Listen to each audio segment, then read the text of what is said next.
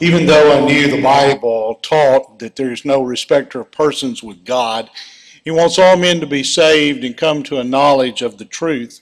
I had never given any thought to the souls of the people in the country of Zimbabwe until I met a native of that country at Harding when we were students there back in the 70s.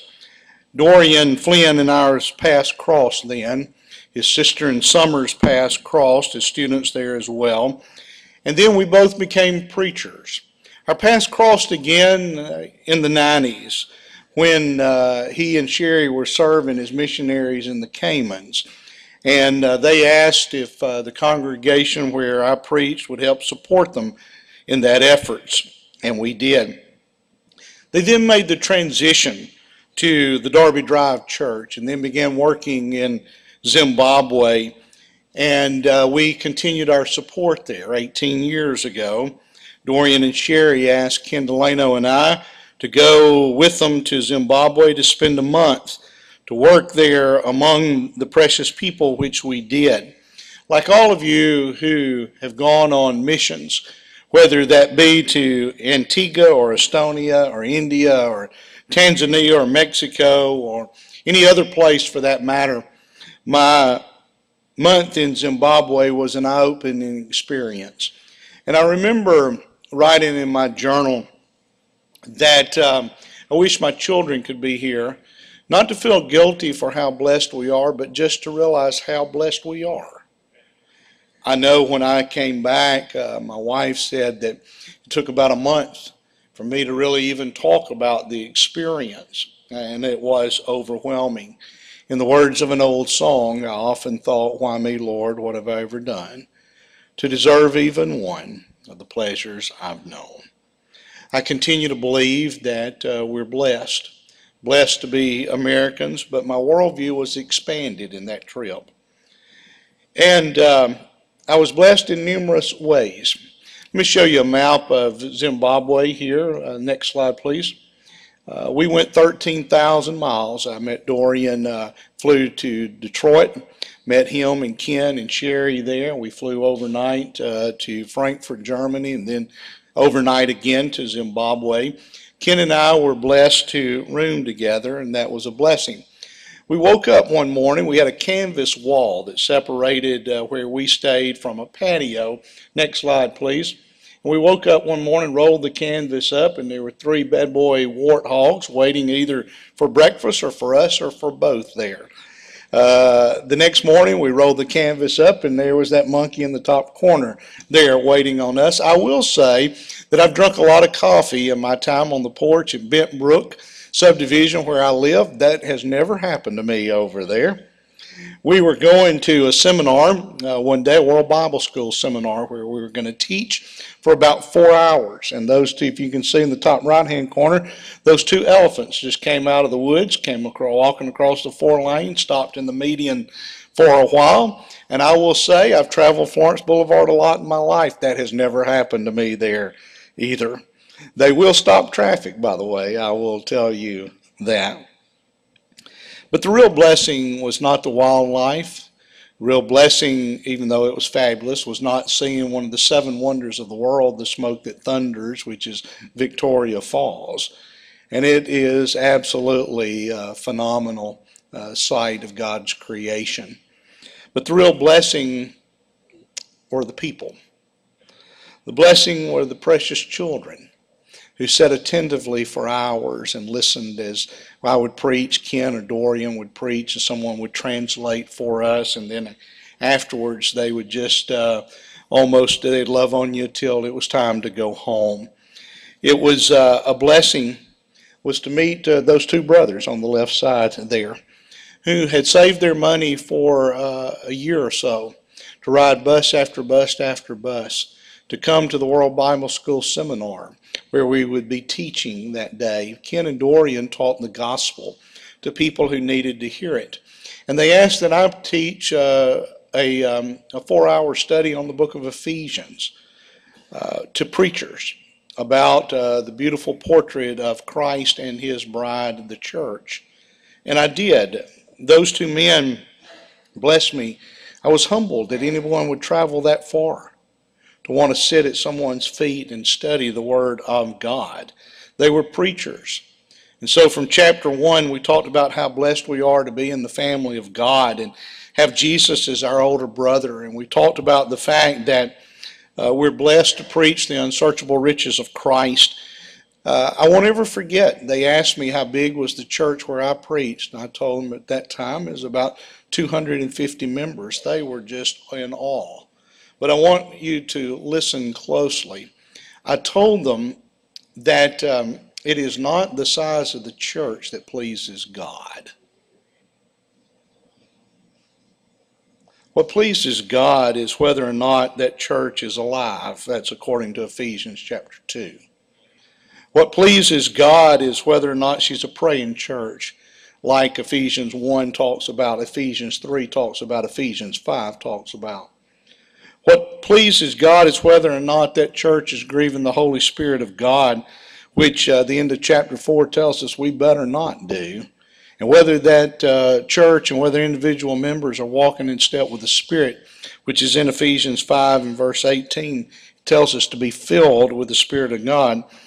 Uh, what really matters, I told those brothers, is whether they're being salt and light in the world where they're planted, whether they're loving God and loving their neighbor, whether they're reaching out and sharing Jesus or not where they're teaching the people who sit at their feet to spiritually grow up into the fullness of the Messiah and be like Jesus, which he talks about twice in this book.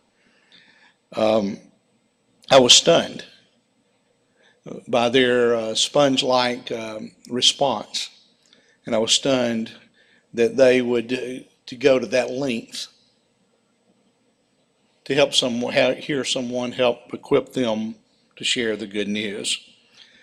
But whether the good news is shared in Zimbabwe, any of the places that many of you have been, or whether it's shared here in Florence, like it was uh, Tuesday afternoon at Cherry Hill Complex, where I was blessed to go, or whether it'll be shared in your life group tonight or any number of places. The beauty of sharing the gospel is this when it lodges in uh, the deep, good soul of good and honest hearts.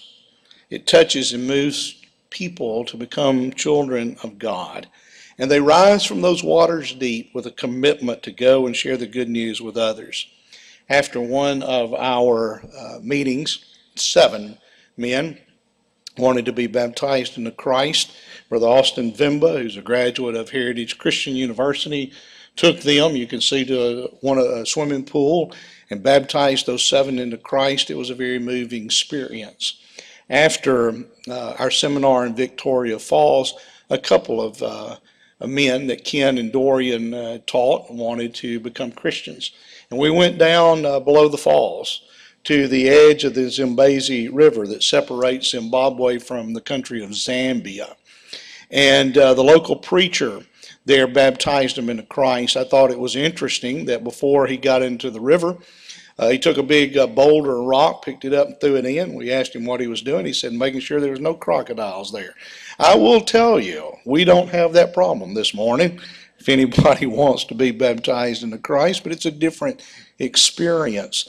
Nevertheless, the waters of baptism are the same everywhere, aren't they? And what happens in, uh, in that through what God does there it, it happens right there in that swimming pool right here, wherever it is. We are grateful. We um, have several Crosspoint members who are currently supporting and sharing the gospel through World Bible School. This was my first experience with World Bible School. And we went out uh, for about half a day each morning uh, for that month. Pairs. This was Landon. Some of you know Landon, who's grown up now living in Chattanooga, but Landon was my partner that day. And we would go and we would tell people that we were ambassadors of Jesus Christ and that we were Americans in their country. And we would ask if they would love to study the Bible with an American. Uh, and, and it was a, a, fascinating experience as they would, uh, many of them would agree to do so. Uh, I don't think I've ever told this story till this morning, but I went, uh, knocked on the door uh, one day, asked a lady that question. Uh, and Dorian and Sherry were in the van. We were canvassing this this neighborhood. Uh, the lady said she was a graduate of World Bible School, and she said, "Just a moment." She went to her back into her room. She came back and she brought a, a framed certificate hanging on her wall of the completion of five five World Bible School lessons. I asked her if she happened to know where her teacher was from, and she said, "Oh yeah, yeah, he's from Florence, Alabama." I said, Florence, Alabama. That's interesting. Do you know what church? She said, the Darby Drive Church. I'm 13,000 miles away and I'm on the porch and we're having this conversation. Is this not amazing? God moves in mysterious ways. Teacher was somebody from Darby Drive. I could not wait to go back and tell Ken and Dorian and Sherry. And I will tell you this morning that brother's sitting here in this assembly. Is that not amazing? It's amazing, isn't it? The point is that the gospel changes lives. And going on missions like so many of you have done and do, gets in our blood. Right now, we want to show you a video of four of our members who have been to Zimbabwe and love not only the people there, but the work. And we love Haley, who is our missionary there. We're thrilled to have him back with us. It's been 11 years since he's been here. Uh, after we show this video that we hope will encourage you and Haley, Brother Mike Shepherd, who was with Haley in Zimbabwe just two weeks ago, will come and introduce him and pray over him, and Haley will finish out our time together. Would you watch this video, please?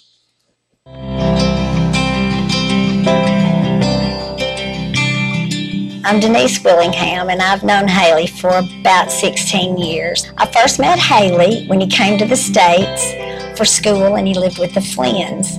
But I got to, to know him so much better in 2014 when I was able to take a trip to Africa and lived with him for about 10 days. My name is Ken Delano, and I've known Haley since 1997 when I first went to Zimbabwe with Dorian Flynn on a, on a mission trip. I'm Lee Flynn, and I've been a friend of Haley's for almost 20 years. He's considered in our family as my brother, and uh, I'm really proud to have him as a friend and a family member. My name is Diane Young, and I met Haley and his beautiful wife Noma in June of 2014. My daughter Sarah and I went with Denise and Lisa to Zimbabwe for two weeks, and uh, we stayed at the Partners for Africa house. I met Haley through some of the work that my parents were doing in Zimbabwe, and um, shortly after that, Haley came to the U.S. to go to school at IBC, which is now Heritage. And when he got here, he came by bus from Los Angeles, California. And we lived in Texas at the time. And he stopped at the bus station in Texas, and my dad picked him up. And he stayed at our house for a couple days on his way to Alabama. I first met Haley at the bus stop in uh, Florence, Alabama, back when we had a bus station. I was in my office at Darby Drive one day. Haley's dad calls and says, Ken, I want to send Haley there and we want him to go to school so that then he can come back and work with us for the churches here in Zimbabwe. I said, okay, when do you plan for him to come? He says, actually, he's already there. So I said, oh my goodness, what am I going to do with this guy? So that's how I first met Haley. What impresses me the most about Haley and Noma would be their kindness. They, they really seem to make you feel welcome from the beginning. They impress me so much by the just the love that they have for the community there in Africa. Uh, what impresses me the most about Haley and Noma is is their dedication to the people of Zimbabwe. They represent Jesus well, and they love God with all their heart. I think if there was one word that really sums up the gifts that uh, he and Noma bring to the table as far as ministry in the Lord's church, it would be versatility or adaptability. They, they work well with all ages of people, young people, older people.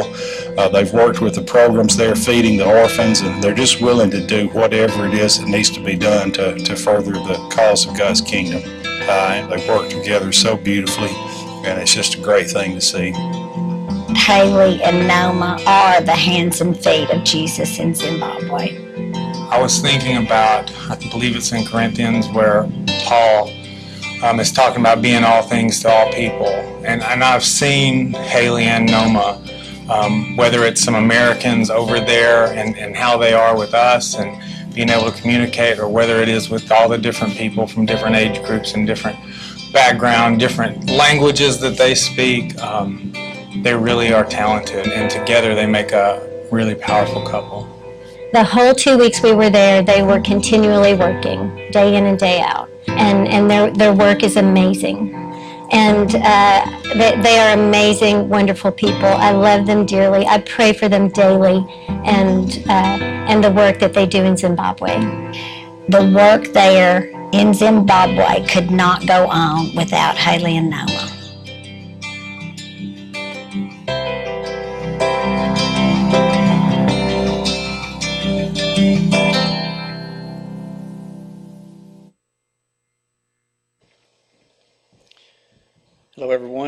Two weeks ago, Haley and I were together. We got up about 4:30 in the morning on a Sunday and drove four and a half hours to this hut here, where we did some uh, speaking and teaching. I went first, and then Haley went second. And I've got a picture that Haley sent me afterwards. You can see I looked right at home there. Um, and I know that uh, I know that Haley feels at home this morning because he is home. I've known Haley for close to 20 years now. In fact, Haley served as my intern years and years ago at Darby Drive, and just so grateful that he's here with us this morning. I want to invite him up now. I want to pray over him uh, before he speaks. God, we, we come before you now and just grateful that Haley is here with us. Ask that you bless his family that's back in Zimbabwe, that you, but you fill him with your spirit now as he opens up the word and teaches us. Thank you for the opportunity for him to be here with us. Ask, Lord, that you bless our time together. It's in Jesus' name that we pray. Amen. I bring greetings from Zimbabwe.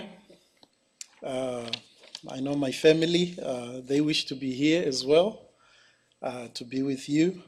And the brethren in Zimbabwe, uh, they are just so grateful uh, with the work uh, that you are doing here in Florence, Alabama.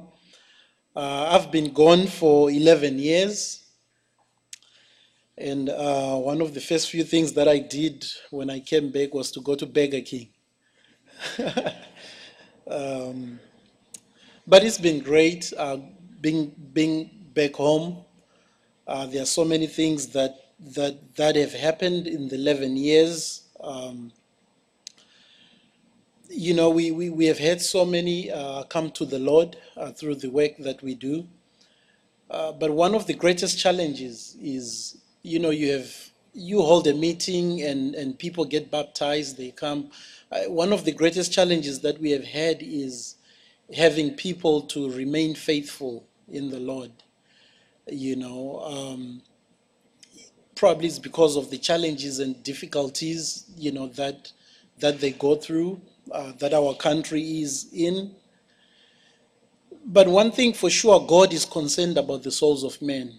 You know, God is concerned about the the welfare of, of men. God is concerned about us spreading the news uh, to all people all over the world, uh, whether it's in Florence, Alabama, or it's in Zimbabwe. In First Peter uh, chapter 3, I believe, says that he delays coming so that many may be saved. You know, but a lot of things distract us. You know, those that come to the Lord sometimes, you know, uh, uh, just the way life is.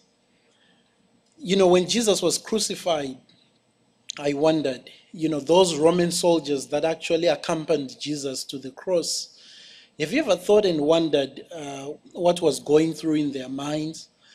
Uh, I reckon they, they, they woke up one morning, you know, it was just a regular day, and they were going to work. You know, they did what they did, you know, on a normal working day, you know, because they had done this several times. In fact, one writer says that during that time, uh, over 500 people were being crucified every week. So this is something that they were used to doing. You know, it was a normal day, a normal working day. So here comes, you know, uh, their duties or their errands they had to do. They just didn't realize that that day their prisoner was going to be the Son of God. Sometimes I got to think that sometimes, you know, in this life, you know, I know in Zimbabwe, for instance, on a Monday morning, maybe a father would wake up in the morning and, and, and you know he tries to go to work. When i say try to go work is most of them they don't have there's no employment but they go out and try to to find something to do so that you know in the evening time they can bring food on the table i know women they they, they would early in the morning they would go with buckets you know full of water they would go to the nearest water source you know, children would be walking, going to school. You know, so we all get caught up in, in, in trying to survive, trying to make a living. You know, that's how it is.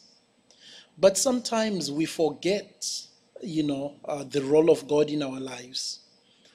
You know, just like the Roman soldiers, you know, they, they, they, they were performing, performing their duties. You know, they just didn't know that you know, this will be the Son of God. It's easy for us today, maybe, to, to stand on the side and, and, and judge and say, how could they go on and, and, and do this? Didn't they realize that this was the Son of God? But just like us today, maybe we wake up, you know, in the morning and we go to work and we are so busy doing the things that we do of this life. And yet God is working in our lives.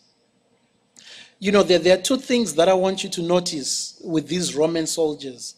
In Matthew chapter 27, verse number 29, the Bible says that they stripped him and put a scarlet robe on him.